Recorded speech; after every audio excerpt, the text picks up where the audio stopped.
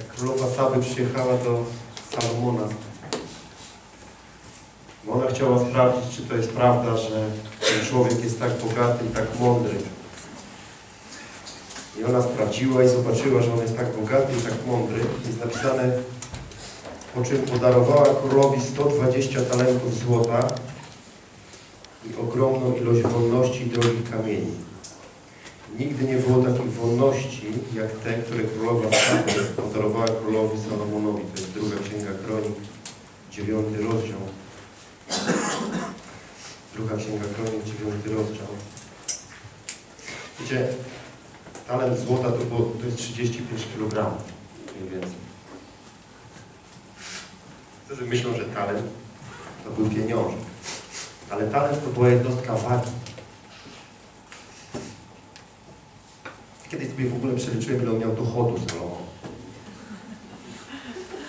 Naprawdę, na dolary to przeliczyłem. W kursie złota, który stał. To może być cenna informacja dla niektórych. Bo tenże Salomon czystego dochodu, bez e, napływów z zewnątrz, bo to jest nie do policzenia, co on miał z zewnątrz, jakie miał napływy z zewnątrz, czyli haracze ile zbierał.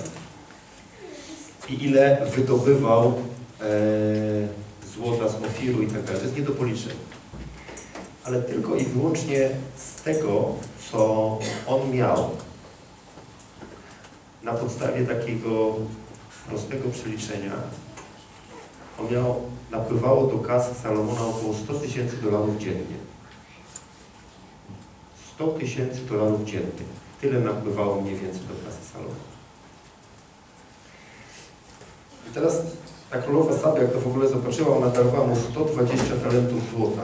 Ogromną ilość pieniędzy w ogóle. I nigdy nie było takich wolności, jak te, które królowa Sabia podarowała królowi. Ale co mówi dwunasty werset? Król Salomon zaś podarował królowej Sabę wszystko, czego zapragnęła. Co sobie życzyła, znacznie więcej niż to, co ona przywiozła królowi. O co chodzi? Ona podarowała mu coś. To było dużo. Ona myślała, że ona się w ogóle nie spodziewała żadnego zwrotu. Wiecie, dlaczego ona mu to podarowała? Dlatego, że ona zobaczyła u Salomona takie rzeczy, jakich nigdy w życiu nie widziała. Ona nie doświadczyła nigdy takiej mądrości, takiej siły. Rozumiecie? Ona nigdy tego nie widziała. W związku z tym postanowiła, że złoży swój skarb w ręce tego, tak, który jest od niej mądrzejszy, lepszy, który o wiele więcej potrafi. Ona zaufała. Wiecie, ona, żebyście zrozumieli, ona nic za to nie kupowała, nic. Nie było za to, ona nic nie kupiła, nic. Bo on jej nic nie chciał, on wszystko miał. Ale jak, co się w ogóle wydarzyło? Ona myślała, że już jest super, ponieważ nie dosyć, że ona jest pełna tej mądrości, pełna tego, tej zasobności, którą tam zobaczyła, którą przyjęła, to okazuje się, że on ją woła i mówi, a teraz chcę coś Ci jeszcze dać. Wybierz sobie, czego chcesz. Wybierz sobie, czego pragniesz. Macie pojęcie, z czym ona wróciła? Ludzie? To była bardzo rozwinięta intelektualnie kobieta. To nie był debil. Rozumiecie? To była królowa, która przyjechała, żeby nabywać mądrość. Chcę, żebyś zrozumiał, na czym polega rzecz. Kiedyś tutaj Michał powiedział taką, taką, taką rzecz, że żeby dawać pieniądze z, z serca. Tak parafrazuję to wszystko, co on powiedział. Bo u Boga się nic nie kupuje. U Boga nic nie kupujesz. Natomiast ja z własnego doświadczenia wiem, że kiedy ja składam swoje życie Bogu, a w tym są też pieniądze. Dzisiaj tutaj się dzieliłem z moim przyjacielem tym, jak ja na przykład, co to dla mnie znaczy dziesięcina, jak ja, jak ja to robię, ja prywatnie. Wiecie, jak ja to robię? Mm, nie dosyć, że ze wszystkiego, co otrzymuję, jeżeli chodzi o pieniądze, to, to, to, to ja odkładam na Boże Królestwo i, i też w zasadzie wszystkie nasze pieniądze pracują. Ale powiedziałem mu taką ciekawą rzecz, że jak mi ktoś coś da, na przykład ktoś mi da marynarkę, albo na przykład przyjechał chłopak, ostatnio dał mi sweterek, tak? To sobie zobaczyłem, ile kosztuje ten sweterek, ok? I 10% z tego sweterka odłożyłem do kościoła. Rozumiecie? Zawsze tak robię. Jeżeli uda mi się na czymś zaoszczędzić, tak?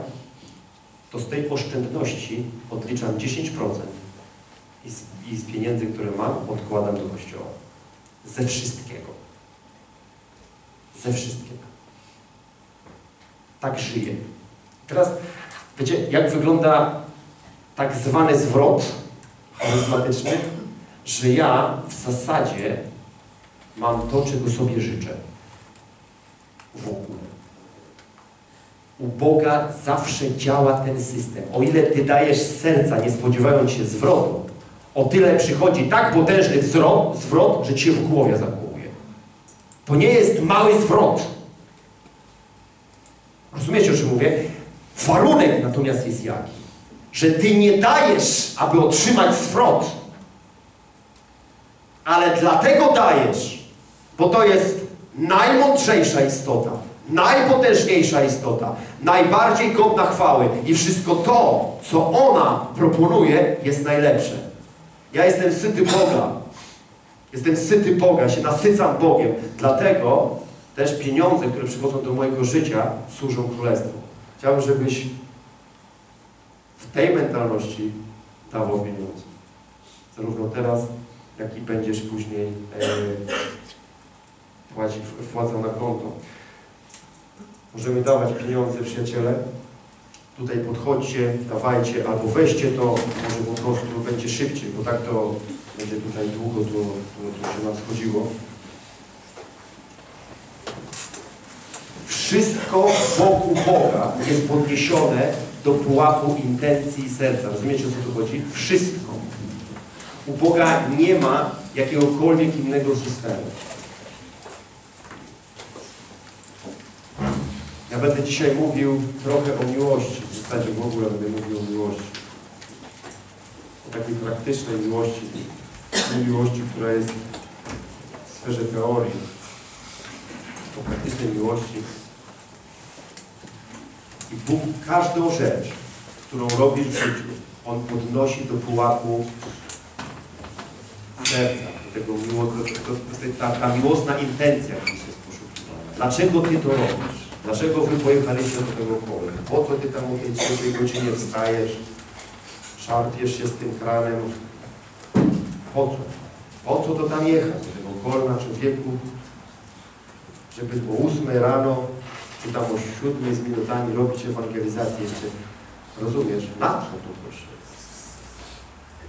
Przecież to w ogóle ludzie mają pomysły na życie. No.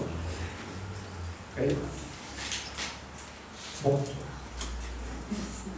Ale wiecie, ja się dowiedziałem, że, że, że tam się ludzie ponawracali.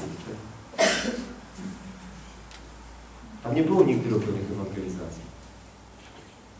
Po prostu. Tam byli, były władze tak poruszone, że ich przyjechali, ich pilnowali jeszcze, żeby się nic nie stało. Ewangelizacja robiona. Wow, u, u, coś ważnego się wydarzyło. Serce Rozumiecie? Ten organ wewnętrzny. Tak? O to tu chodzi. Wszystko z miłości. I pieniądze dajemy z miłości. My musimy się uwolnić od innego systemu. Rozumiecie? Będziemy sądzeni z miłości. W niebie będziemy sądzeni z miłości. Nagrody, które otrzymamy, to będą nagrody, które będą wynikiem tego, jak my uwalnialiśmy miłość wszelkiego rodzaju. W ogóle inaczej, tam nie ma innych rzeczy. Rozumiesz? Tam będzie głosiłeś dobrze, ale dlaczego głosiłeś? Okay? Uzdrawiałeś chorych w porządku. Jakie intencje Tobie towarzyszyły? Co to jest uzdrawiać chorych? Uzdrawianie chorych to jest pestka. Rozumiesz? Szubrawcem można być, ale dowiedzieć się, proszę Ciebie, że z krzyża jest uzdrowienie, uwierzyć, proszę Ciebie, w to, że jest się przepływem mocy i kładziesz ręce na chorych i uzdrawiasz. Co to jest demony wypędzać? To nie są problemy. Intencja. Rozumiesz? Tu nie, nie z ilości, nie z ilości będziemy sądzeni, tak? Tylko z intencji, z jakich, z jakich pobudek to robiliśmy.